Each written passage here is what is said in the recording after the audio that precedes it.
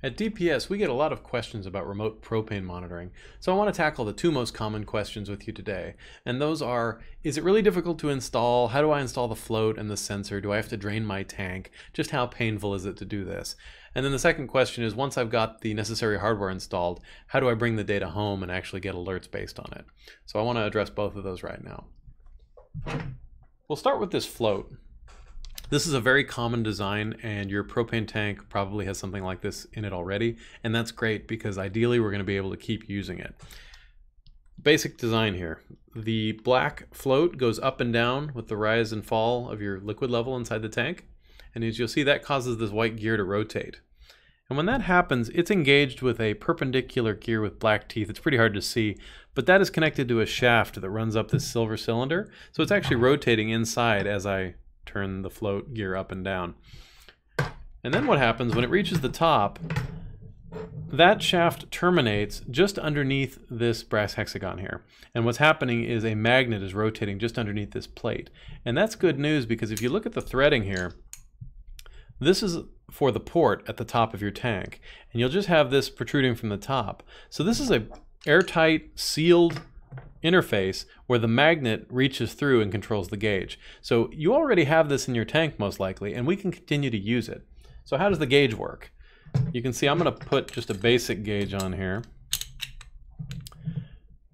And we'll try to turn that right side up. Okay. Then as the float level goes up and down, you can see the magnet caught, and now it's just following along. And so as the level changes, the gauge reading changes. And that's great if I'm out at the site and I'm staring at this needle, but how do we do this remotely? Well, this gauge in particular can be used in this config, but that's a bit of a waste because it's what's called R3D ready. You can see it's got this little cutout in the faceplate, and that's a standard that accepts an R3D sensor. So we'll slide that in, and it just clicks in. And once I've done that, that will now pick up the level of the needle. And you can see it keeps itself clear visually. So you can still read the needle if you're out of the site, but also we're gonna get an output. So let's just put this back on the float. So you can see as the level goes up and down, the magnet causes the needle to rotate and is also picked up by the sensor. So what happens then? Well, the sensor terminates with a couple of wires. And this is a zero to five volt output that you can go to a remote terminal unit with. So if your RTU has analog inputs that can accept voltage, you're ready to go. And you would just set up the scaling so that zero is one level and five volts is another level. And that's going to translate from a voltage that doesn't make a lot of sense into a percentage of fuel remaining. So that's really all it takes to set up propane. It's quite convenient. You are most likely not going to have to drain your tank as long as you have a float that is something like this that has this sealed magnetic operation where you don't need to do anything other than pop the gauge off the top. You can see the two screw holes here and just replace it.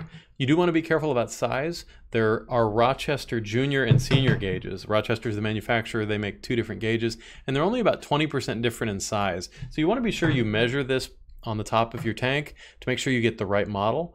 But other than that, you just remove the old gauge, insert a new one that is machine readable, connect it to some kind of a remote monitoring RTU like the NetGuardians that DPS manufactures, and you'll be all set. So if you have any more questions about propane monitoring at all, hop onto the website dpstele.com. You can also give us a call at 1-800-693-0351 and ask for Andrew and I might pick up your call.